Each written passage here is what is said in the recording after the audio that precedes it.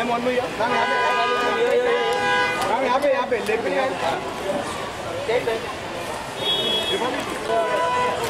sir sir sir sir sir या या sir sir या या या या या या या सर सर ये जाने दो मेरे वाले ठाकुर का लुक हो गया sir Thakur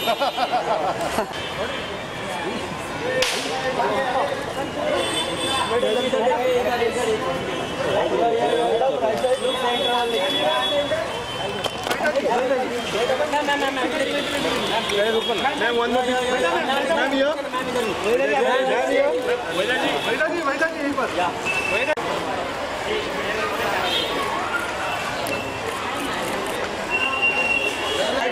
लुक या या या मैम इधर देखिए। मैम मैं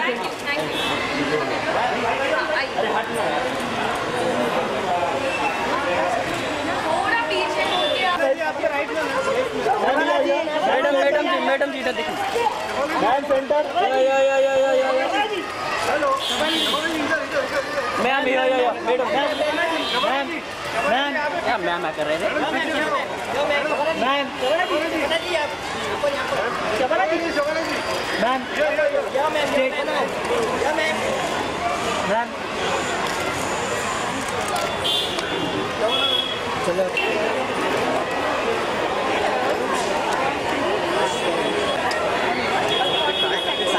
I request everyone to please settle down?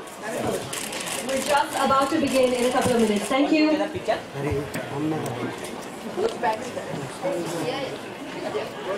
picture?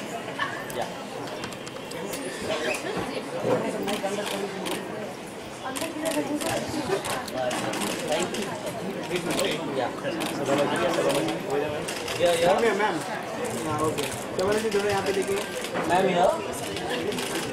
Savannah ma'am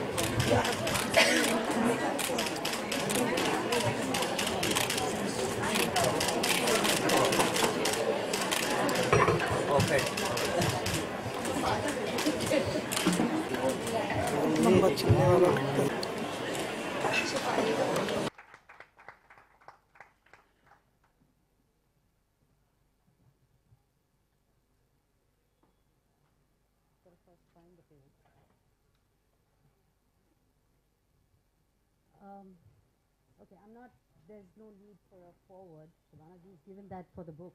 So I'd like to read something. When uh, a lot of people look at me, look at us, and say, you know, they have a great life. She's confident, she's, she's got a great family life, she works, and obviously she can never be depressed, but that's completely untrue. I can be depressed.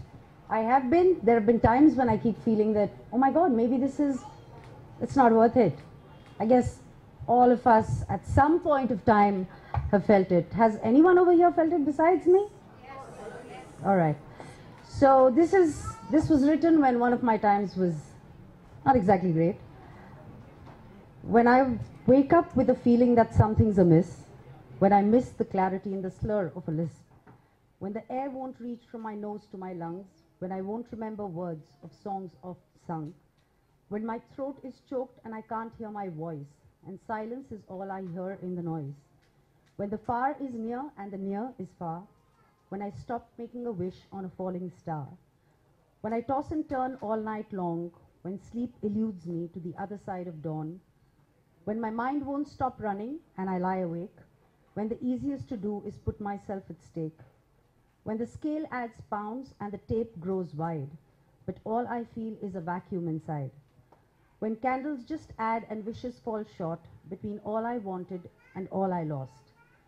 When I kept running but had nowhere to go. Was I running to or from? I ceased to know. It's then I realized I'd lost myself. Too late to reach out, too late to help. No way could I be repaired, no way I could be healed. Then, with destiny, I ended my deal. If only someone had listened, if only someone had reached out, believed in me, and cleared my doubt, I would have lived.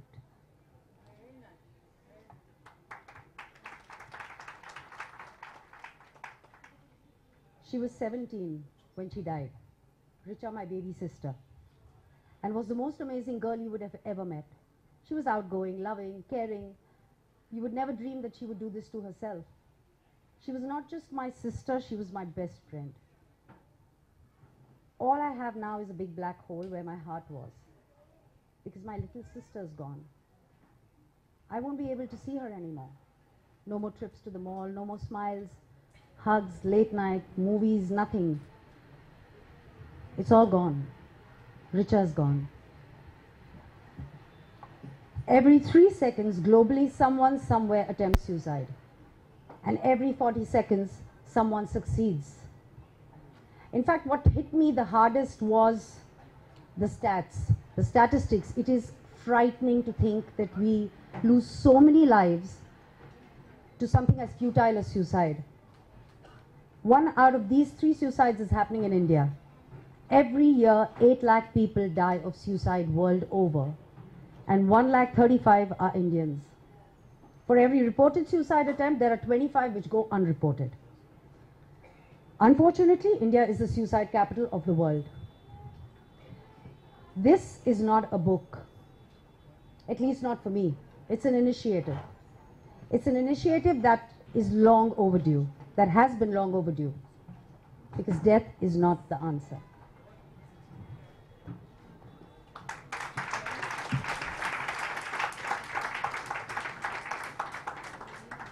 Evening all and thank you everyone for giving me this opportunity to speak today about my own life and my existence is uh, gratitude to Dr. Anjali and here I would uh, share my story in short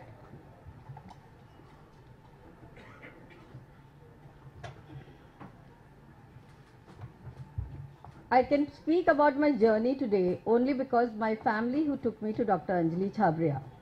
They took me at a time when I had already tried to kill myself more than 20 times because of a failed relationship, thinking my problems would be over once I'm dead.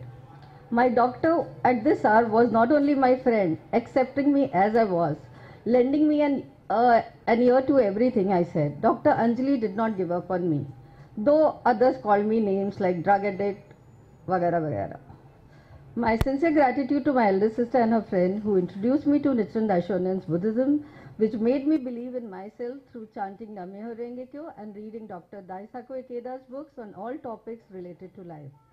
So I had psychiatric medicine for my mind and chanted Nam-myoho-renge-kyo for my soul. People in the secular world are ashamed to go to a doctor because they think it's only for mad people and they try to keep it under wraps thinking all would be fine after some time. They ignore the fact that they are pushing the person into not believing in their own potential to be happy. This issue has to be voiced.